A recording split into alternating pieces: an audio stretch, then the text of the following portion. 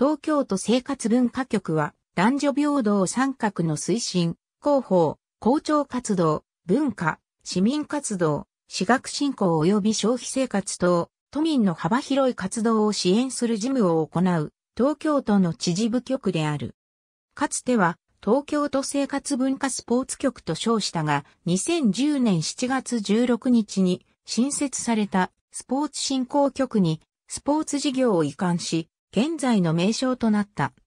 局の組織、定数、人事、広報、校長、契約、企画経理課局事務事業の企画、調整、局の予算、決算等に関する事務を処理する。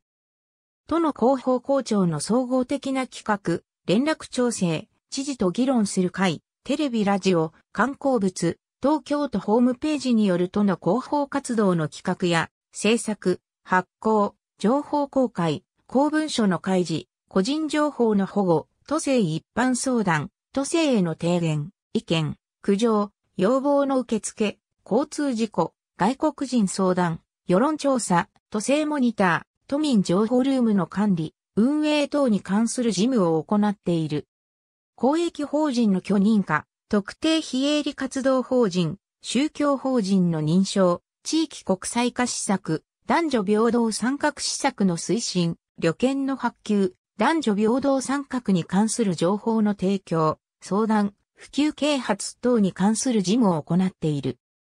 消費生活行政の総合的な企画、調査、調整、推進、不適正取引の防止対策、商品、サービスの表示の適正化、商品とサービスの危害の防止、消費生活相談、消費生活情報の収集、提供、消費者教育、消費者支援、相談に伴う試験、計量法に基づく計量器の検定、検査、立ち入り検査等に関する事務を行っている。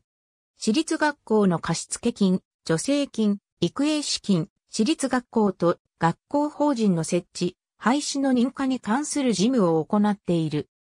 文化振興施策の総合的な企画、調整、推進、江戸東京博物館等の都立文化施設7館の管理等、東京都歴史文化財団及び東京都交響楽団の指導監督、芸術創造活動の進行、芸術文化活動の支援、都民の日、東京都平和の日、名誉都民等に関する事務を行っている。ありがとうございます。